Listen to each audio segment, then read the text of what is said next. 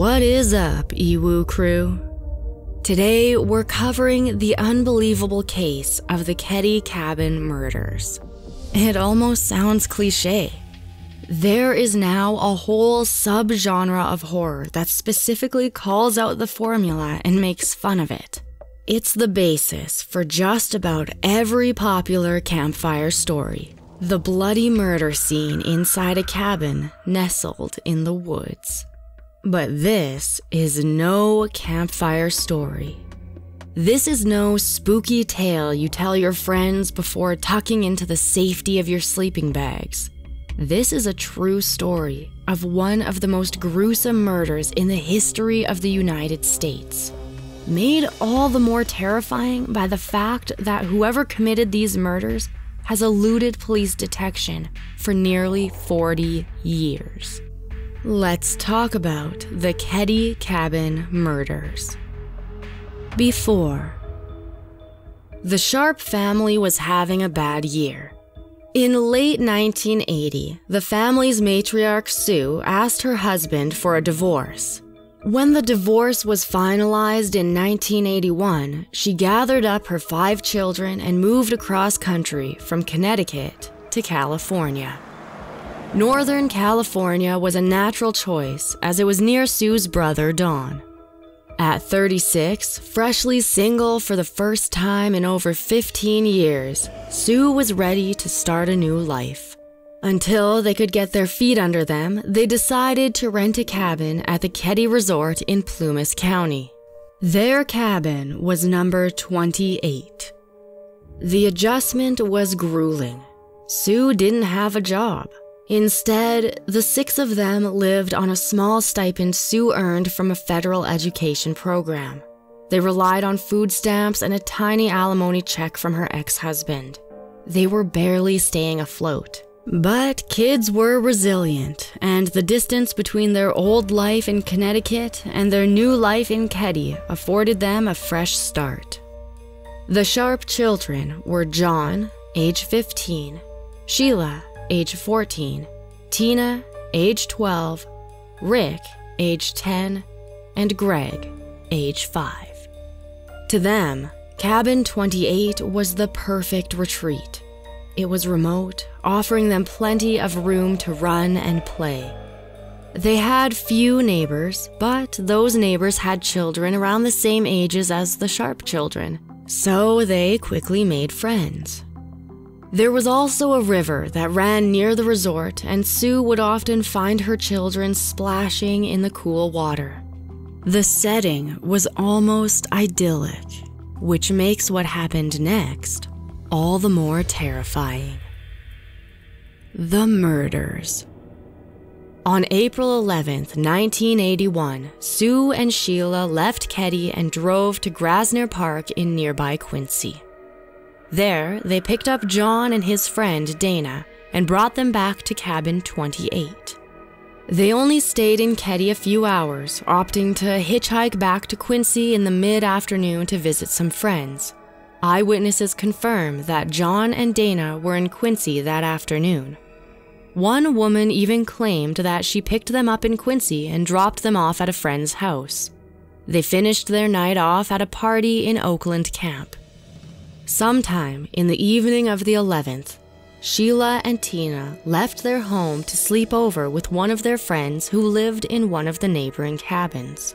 However, Tina decided she wanted to sleep at home and returned to cabin 28 in between 9 p.m. and 10 p.m. John and Dana returned home sometime later. The Sharps who were left at home Sue, John, Tina, Rick, Greg, and a young boy named Justin Smart, who was a friend of the young boys. When Sheila returned home early the next morning, she discovered the unthinkable. In the main room of the cabin were her mother, her older brother, and John's friend Dana. They had been tied with wire and bound with tape. They had been beaten, strangled, and stabbed to varying degrees. The room was splattered in their blood. She stumbled backwards out of the cabin, unsure what to do for a few seconds. Then she turned and ran back to the neighboring cabin, the home of the Seabolts. James Seabolt followed her back to the cabin. When he stepped inside, it was clear that the three bodies were beyond help. But there were three young boys sleeping in the cabin's bedroom. Instead of trying to pick his way through the gruesome scene, he hurried around the side of the cabin and helped the boys out through the window. Police were called. This was the 80s. The police in California were familiar with murder by this time. Stories of the Zodiac who continued to elude justice raised the hackles of every officer in the state.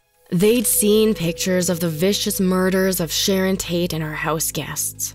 But to the officers who arrived on the Keddie cabin scene, this was something else. This was something much more intimate and much darker.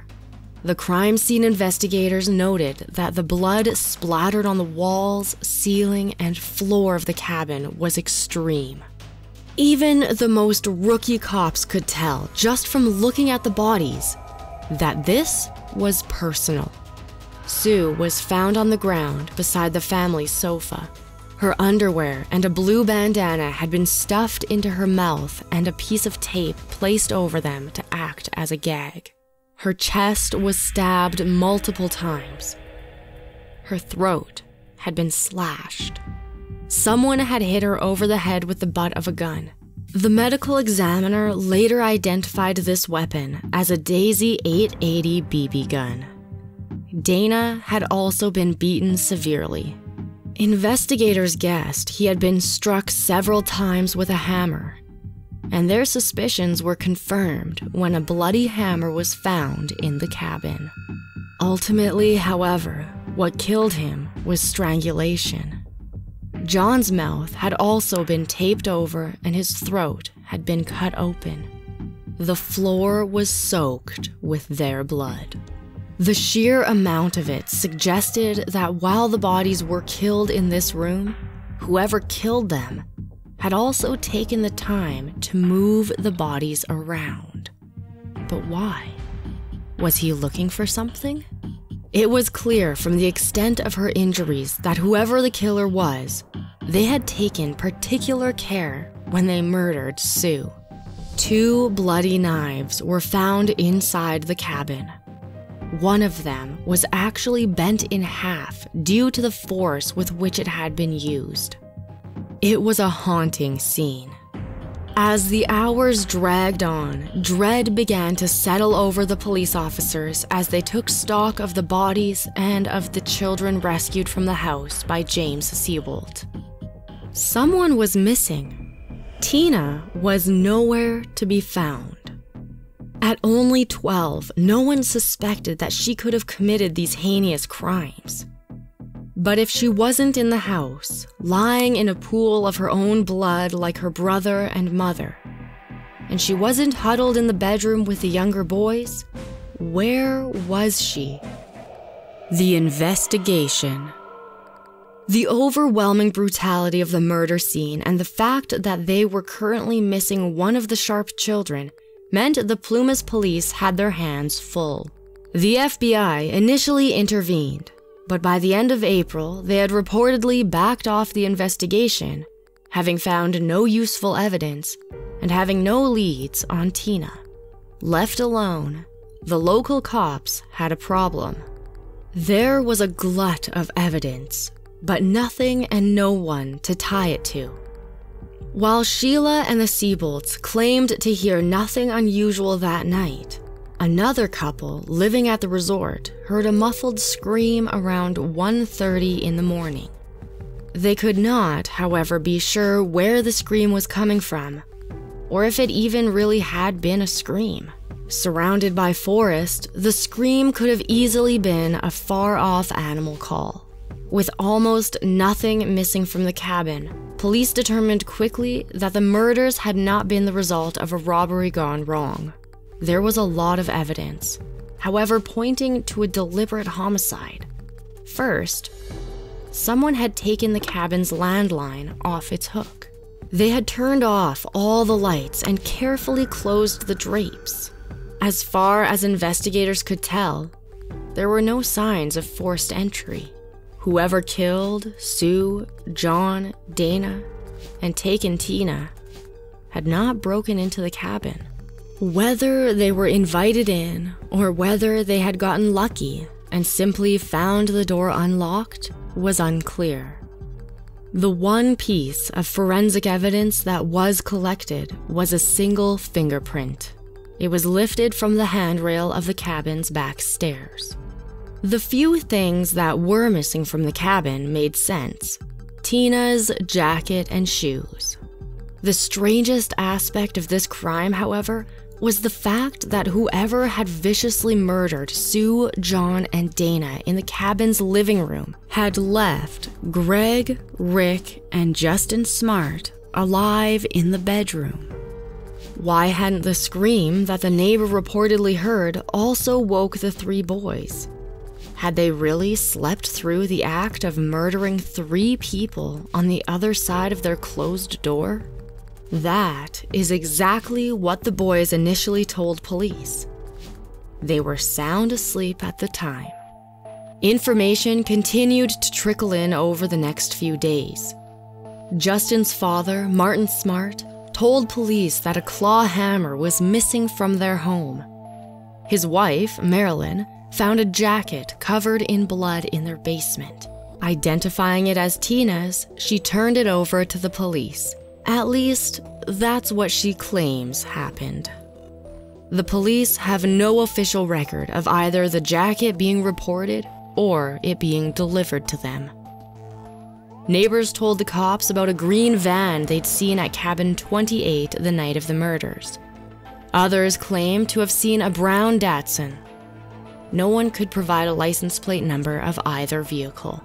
The conflicting stories and dearth of any actual useful information left the cops with few real theories to pursue.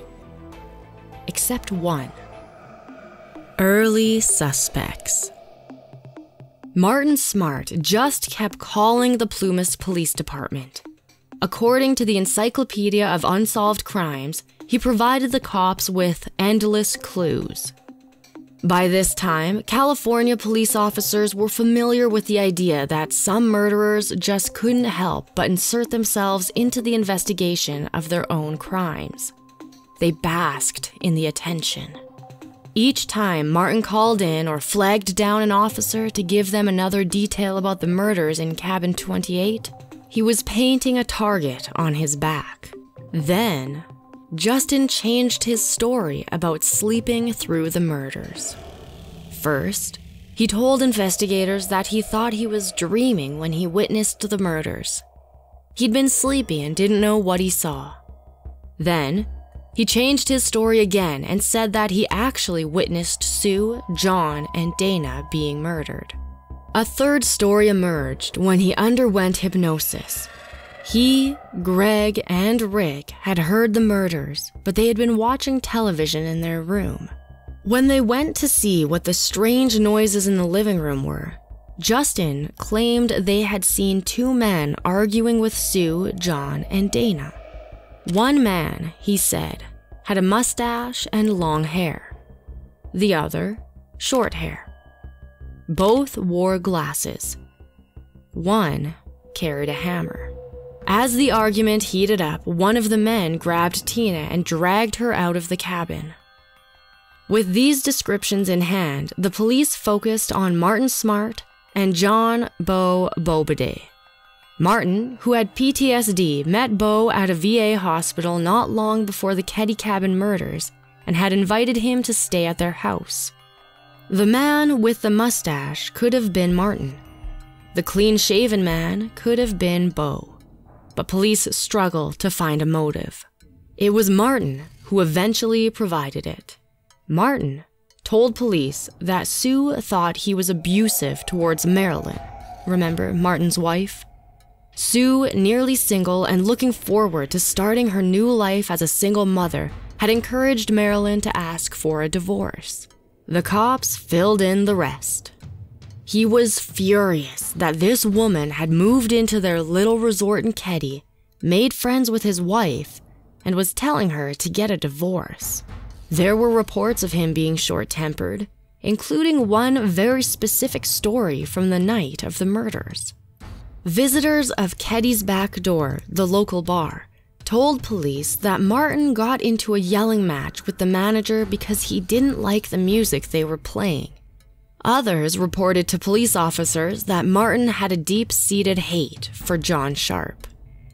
Marilyn herself told officers that she saw Martin burning something in the weeks following the murders. Ultimately, confusingly, neither Martin nor Bo was arrested. Rumors continued to swirl. Some locals believe that Dana had stolen LSD from a drug dealer and the murders were revenge. Others thought the murder had a satanic or ritualistic undertone no one had any real idea what had happened. Finding Tina Sharp. Three years later, almost to the day, a man collecting bottles in Butte County found parts of a human skull.